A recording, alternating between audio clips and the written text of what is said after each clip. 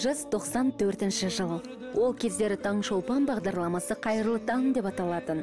Наурыз мейрамының арнайы шығарылымында нұрлан өнербаев роза рымбаева бастаған бір топ өнерпаз әннен шашу шашып арнайы концерттік жоба ұйымдастырылған.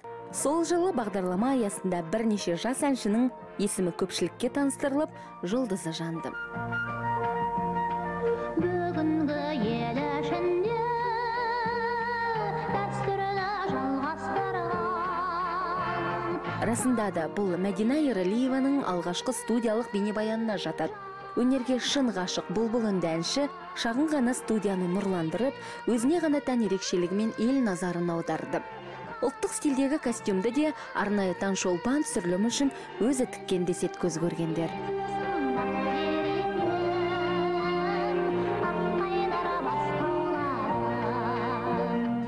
Сондай ақ әнші бақыт шадаеваның нағыз көктемнің лебін сездірер. Лирикаға толы жауын әнінің тұсаукесері де біздің бағдарламада өткен екен.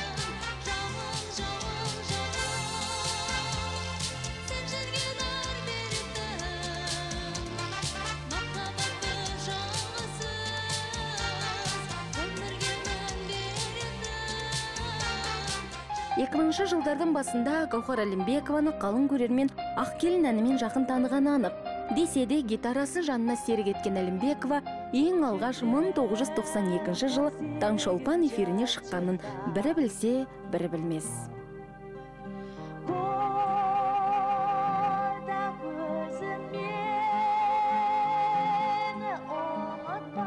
Және осы өміршең дүниелерді өмірге әкелген ақын композиторлардың дені таңшолпанмен танылған туындыларын әрдайым мақтан тұтады.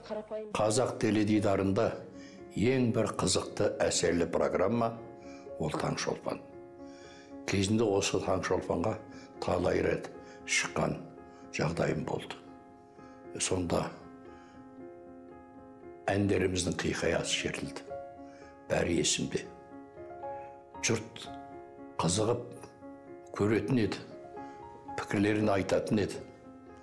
А, сол таңшолпан программасына биыл міне отыз жыл екен өміршең болғаны тағылымды болғаны тәрбиелі болғаны адамның жан рухатының ләззаты болғаны осыдан білініп жатыр ғой. 90 жылдардағы экономикалық қиыншылықтарға қарамастан таңшолпан әр эфирін үзбей әсіресе дәстүрлі күйге ерекше назар аударып отырған.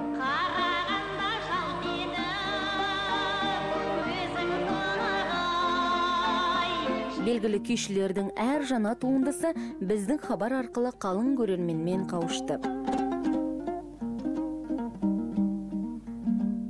Әнші күйшілерден бөлек танымал ақындар да таңшолпанға сан мәрте арна орнап жырдан шашу шашқан.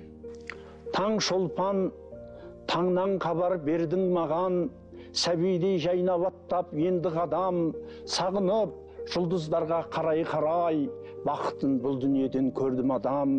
Таң шолпан әр биік әр жарық көгімнің жарқырай бер қақ төрінде.